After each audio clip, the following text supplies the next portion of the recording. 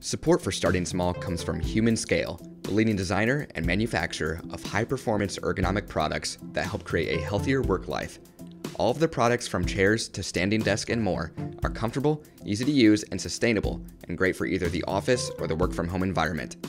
With an increase in shifting workplaces, comfort can be especially hard to find. As I run the podcast, I'm in front of my desk for hours a day, from scheduling, researching, interviewing, and more. Humanscale allows me to remain productive without the consequence of body stress to follow. Make sure to check out Human Scale at humanscale.com and use code Starting Small at checkout to save 20% off your purchase. That's code Starting Small at humanscale.com and enjoy the episode. Hello, and thank you for tuning in to Starting Small, a podcast about brand development, entrepreneurship, and innovation in the modern world. In this episode, I'm joined by Bill Phelps, co founder of Wetzel's Pretzels, an American franchise of fast food restaurants specializing in the variety of pretzel types. While on a business trip for Nestle, Bill and his co founder Rick discovered a pretzel store in a mall with fresh pretzels and low cost of goods, but that existing store had poor marketing. This was their chance to hop in and revolutionize the pretzel industry. Hello, and thank you for tuning in to Starting Small. Today I'm joined by Bill Phelps of Wetzel's Pretzels. Bill, thank you so much for joining me today. It's nice to be with you. Yeah, so I want to start out with your upbringing. So, where did you grow up and what was your childhood like?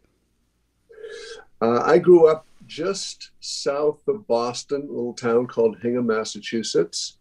And my dad was uh, a businessman and worked for a traditional uh, leather products company for most of his career. And then uh, he came up with the idea of the rawhide dog bone and actually was an entrepreneur himself and went out and did a LBO before they were uh, very common. Mm-hmm. And they bought the company back from the founders.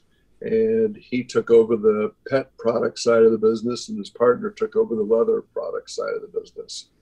Um, but it's a pretty cool story. Wow. So, growing up as a kid and your dad uh, coming up with this idea of the rawhide dog bone. What was that like in your position? Did you were you allowed to kind of aid uh, in your premature ear, years with your father's business? Uh, no, not really. Uh, yeah. But we. Uh, the funny thing was, and it happened in Wetzel's too. But uh, he, you know, I told people that my dad made dog bones, and people laughed at me.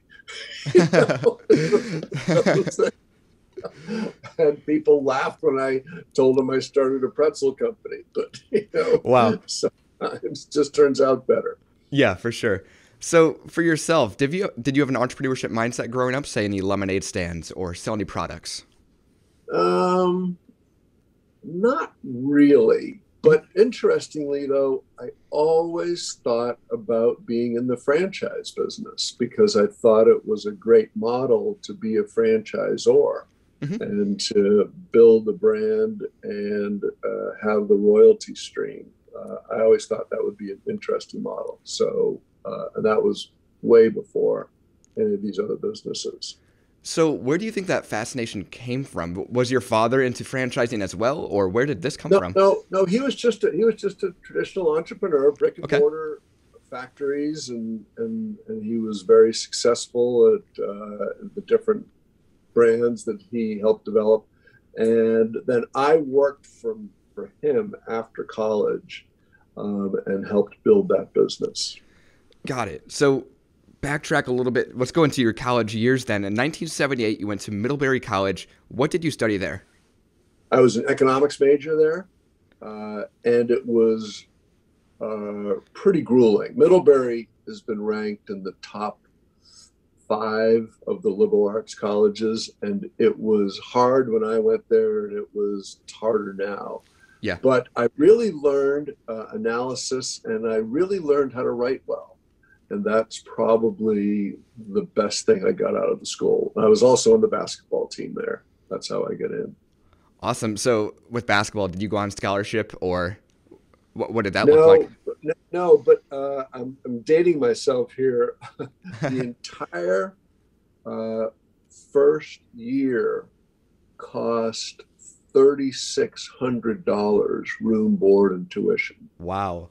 so amazing. need a scholarship back then. Yeah, amazing. Yeah, so, it is pretty.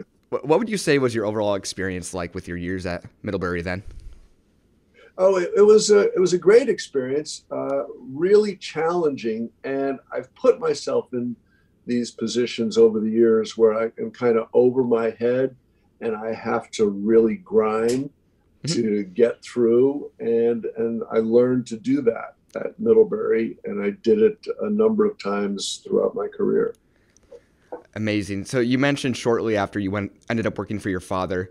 Um. So what led you to then uh, go the route towards working with uh, Rawhide Dog Bones with your father in 1983? Well, I was I worked for Carnation Company right out of college, and they had a brand management program, Mhm. and I loved that. And I learned uh, marketing at Carnation Company, and I actually worked in their pet care division, and I worked on a couple of the big cat food brands, uh, and that was a great experience. And then I went back and worked with my dad uh, and we built it up from probably a $20 million business when I got there to about a $70 million business in 1990. And then I made the decision that we were too small to compete in the industry surrounded by multi billion dollar multinationals. And so I made the decision, uh, with my dad's blessing, to reach out to uh, Nestle Mm. and see if they were interested in doing a deal.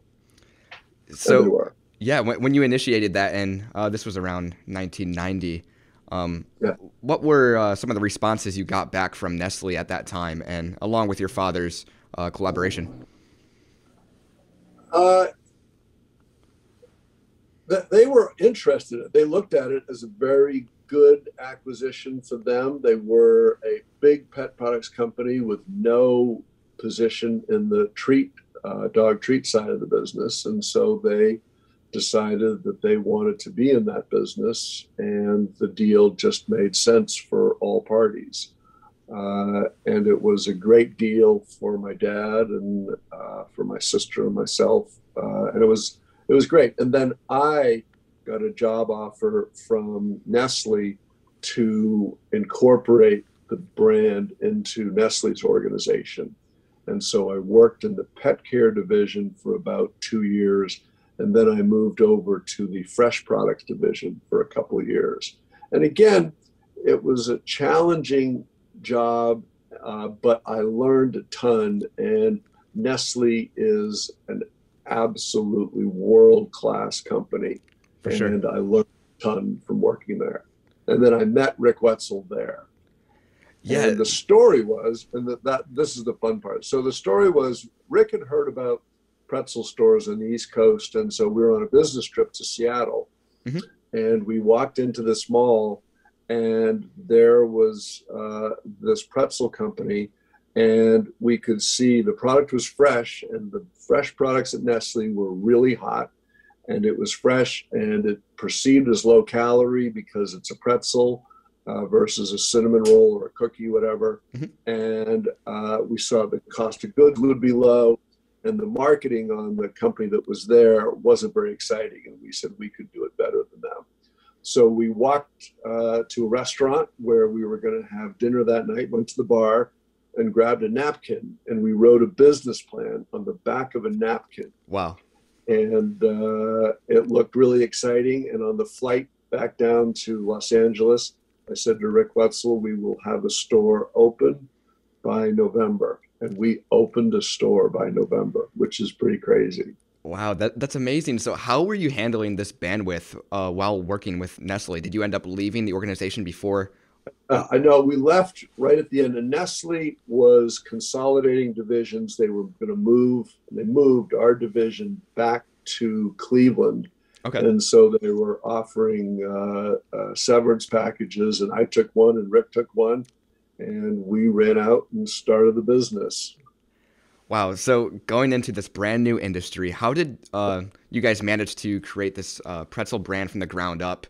Uh, I don't know if you had any um, idea with recipes in the past, or did you transfer? Oh, that's actually a really good question. We had Yeah. a third partner for the first six months, and he was another guy from Nestle, Okay. uh, uh, and his name was Steve Phillips. And Steve Phillips was a chef, Oh, and he had trained at uh, the Culinary Institute of America, uh, and he uh, came. I also lived in Philadelphia, so he knew baking and he knew pretzels, and he came up with a recipe, and we all tasted it, and we were blown away. And so we started making them for landlords, our landlord prospects, and then we got uh, a deal, and we moved ahead and tried it. wow. What was that original pretzel? Was it just uh, kind of the classic? Well, well we but, but we decided to do it very early on. The idea was to be the Ben and Jerry's of Okay. the pretzel business, and so we came up with we had original pretzels, uh, and then we had sinful cinnamon pretzels, and then we had uh, cheese and garlic, and we had uh, jalapeno pretzels, and we had uh, oh about three or four other varieties, uh, garlic pretzels and things like that. So we were kind of the the innovators in the category, and that's how we positioned ourselves from very early on. I hope you guys are enjoying this episode so far around Bill's entrepreneurial journey. I'd like to pause and say thank you to this episode's mid break sponsor, Salomon, premium outdoor shoes, apparel, and accessories. With running outdoors being a major stress reliever for my work, I count on Salomon to carry me through each and every workout. Salomon strives to create progressive gear to enable you to freely enjoy and challenge yourself in the great outdoors.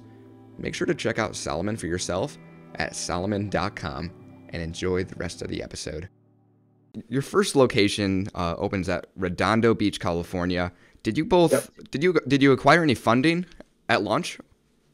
No, we- we uh, we each had. Uh, I had money from the sale of the uh, dog pet products company, Mhm. and then um, Rick. This is a funny story. He was an entrepreneur and started a uh, video uh, rental uh, store right while he was in college, right after college. Uh, and he got money to go to business school, and then he had money to do that.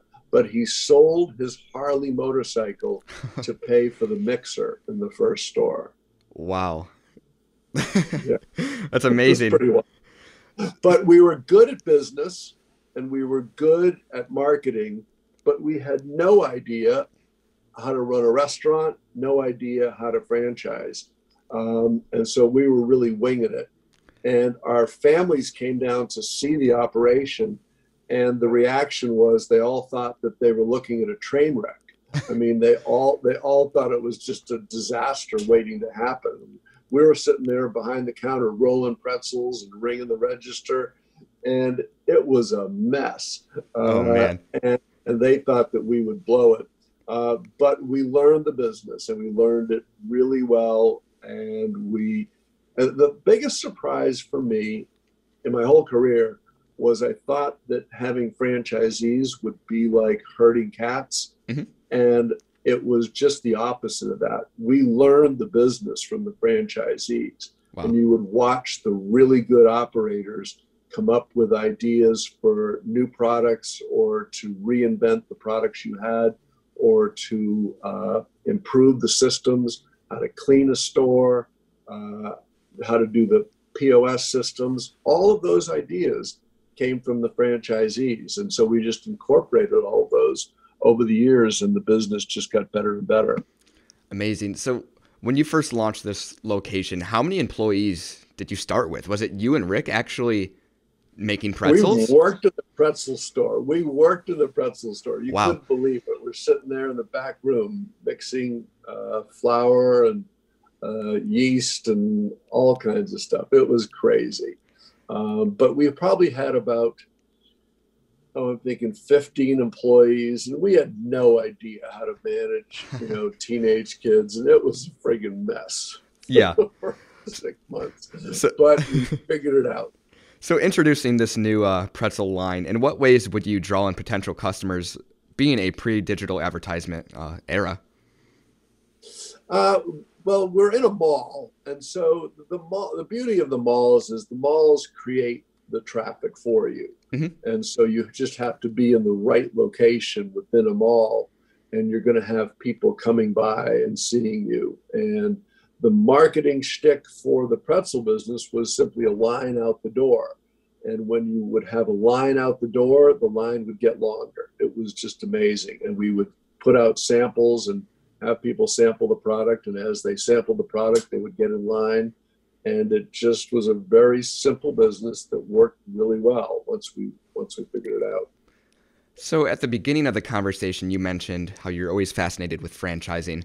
Um, at what point did you and Rick decide that franchising was going to work out out of this mall that you wanted to uh, further expand the business? At what point did you guys oh, realize? That's a funny question. And the answer was that, uh, you know, normally if you close up a restaurant, it would take you 30 minutes to clean it up at the end of the night, mm-hmm. or the, that's what the employees would do. Well, Rick and I were rookies at this. We had no idea what we were doing. And we took two hours to clean the restaurant. And we're walking out of the place at 11 o'clock at night. Rick Wetzel goes, this is too much work. We got to franchise these things. That's a true story. And that happened in December of 1994. And we started franchising uh, in early 1995. Okay, so where did you begin to expand? Was this all in California or what? Mostly the... California. And Wetzel's was uh, California based and uh, more than half of our restaurants our shops today are in the California market. So it's just a huge uh, market for Wetzel's. But then we we started franchising across the country, and we went into New Jersey, we went into Atlanta, we went into Arizona, all kinds of markets. Amazing. Um, just just a sidetrack real quick. Last night, I actually saw one of my previous guests I had on the show. He was eating a Wetzel's pretzel in California. So it, it's really, ama- yeah, it's really amazing seeing that. And you mentioning uh, just such a powerful California business that you guys grew. And I'm, I'm watching some of my friends and my guests actually eating Wetzel's pretzels. It's really remarkable. That's funny. That's funny. So moving on to 1997, uh, you did an angel deal with the right. movie producer John Davis and chairman of Northwest Airlines Gary Wilson. If you could kind of yep. explain that tra- transition and what that looked like. Uh, it's it's a great question. It was a uh, the decision of our careers. You know, my father-in-law uh, was extremely successful, and my father was extremely successful. My father-in-law said, "I'll you know loan you a million dollars if you want to help grow this business."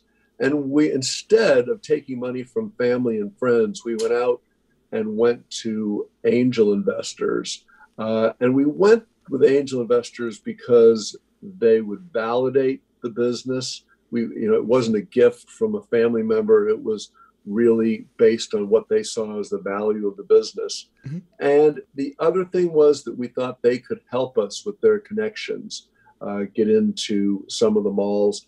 And at the end, they did. Now, we started uh, overloading the overhead really quickly. Mm. And uh, it became a disaster very quickly because we weren't selling a lot of franchises. Uh, and the chairman of Northwest Airlines a year later goes, I know where this one's going. And that meaning we were going to go bankrupt. Mm. Uh, but we listened to the guys and we cut the overhead dramatically. And we started selling franchises and doing some license deals. And we turned the corner and those guys were supportive of us and we turned the business around and then the breakthrough for us was this is a fun story we were trying to get more locations so we sent out these postcards to a thousand landlords uh, or landlord contracts across the country and we only got one response but it was from disneyland wow and we uh, got a store at Disneyland and at downtown Disney. And that was the turning point for the company. We opened the store up and it was mind boggling what the store did. It did 10 times the volume, the average volume of the stores at that time. So wow. it was it was just amazing. and and we parlayed that into five locations at Walt Disney World, and that's what really got the company going. That's that's amazing. So, um, once you landed these stores inside Disneyland, um, what what did the future of Wetzel's Pretzels kind of look like to you at that time? If you guys were just beginning franchising, um, you you were progressing, but then you land these major partnerships.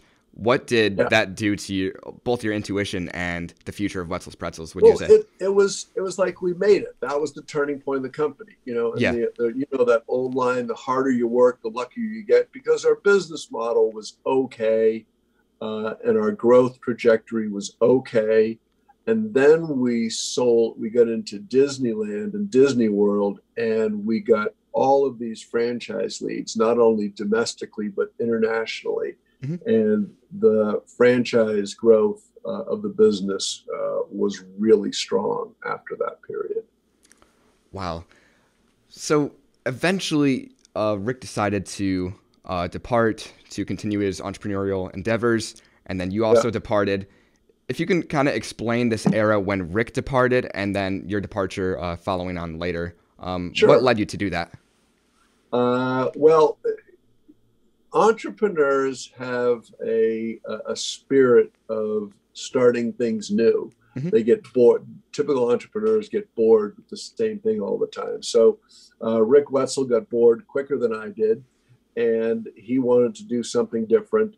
So he, uh, we did a private equity deal, uh, and we took uh, some pretty good money off the table. And then I stayed and ran the business, and Rick kind of got bored and he and Elise Wetzel came up with the idea of Blaze Pizza.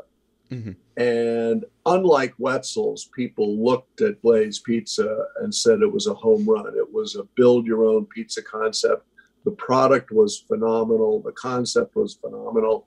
And then we used uh, the same investors, uh, movie producer John Davis, and he brought Maria Shriver into the deal and we brought LeBron James into the deal. Wow. And we announced that LeBron James was an investor. And I think Rick told me we got 6,000 franchise leads in the 18 months after that announcement. Wow. And, and unlike Wetzel's that grew slowly early on, Blaze Pizza grew, uh, was the fastest growing restaurant chain in America for two of the next five years. Uh, and so they were opening up to 80 restaurants a year uh, during that time. And the business was just going great guns. And then um, we sold, uh, did another private equity deal on Wetzel's mm-hmm. in 2016 and then we did a major private equity deal on Blaze Pizza in 2017. Um, and it was it was wild and it was fun. And then at the end of I worked for the new private equity firm for two years, and then I got ex- interested in doing other things. And so I talked to John Davis again, the movie producer, mm-hmm. and we uh, we went with a company called Dave's Hot Chicken.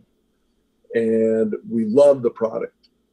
Just an absolutely phenomenal product that's like addicting. And yeah. the stores were, the one store was doing really well. And we took a flyer and we made a deal with the founders that we would own half the business and they would own half the business. And we would grow the franchise business. Wow. How young was Dave's Hot Chicken at, at that time? Dave said, this is a great question. Mm-hmm. Uh, at the end of 17, you had three guys with two nickels to rub together between the three of them, and they had opened a, a Dave's Hot Chicken in a parking lot in Hollywood. Okay. They did a pop up. And the story was the guy from Eater LA came by and said, uh, This might just blow your mind. It's so good. and so then they opened up a store at the beginning of 2018 and they had two hour lines out the door at the beginning of 18 so nine months later in the fall of 18 we connected with them and we made our deal at the end of 2018 and we're in business franchising uh, about six months later. Wow, that's tremendous. So, when you went into Dave's Hot Chicken, was your envision to be similar to Wetzel's, such as staying on the West Coast? Because uh, you eventually grew no, to 300 no, stores. No, it was. I was actually going to follow the Blaze Pizza model. Okay. Which was to bring on a really strong group of people. Yeah.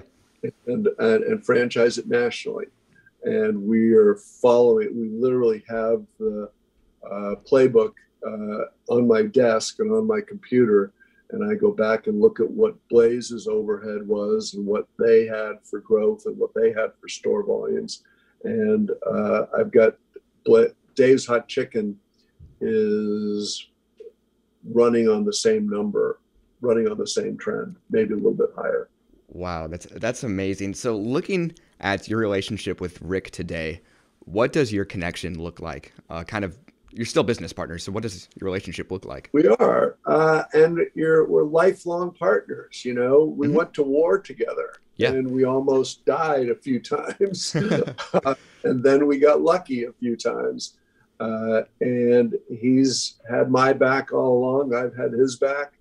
Uh, he invested uh, in Dave's Hot Chicken, but he's not active in it. He's watching from the sidelines and if I ever need advice, I just give them a call and, and we adjust whatever we're doing. But uh, it's been a, a great relationship. That's amazing. Bill, I like to conclude each episode with this. If you could share one piece of advice with an aspiring entrepreneur, what would that be? Maybe something you've learned or regret? Just anything. By the way, that's your best question. um, and the biggest thing is it's all about perseverance. And you're going to get roadblocks thrown in your way. You're going to hit dead ends. You're going to have lawsuits. You're going to have all kinds of problems that you never imagined being an entrepreneur. And it's all about perseverance and sticking to it and fighting through the hard times. Uh, till you get to the other side. And it's that perseverance that is the difference between the guys that make it and the guys that don't.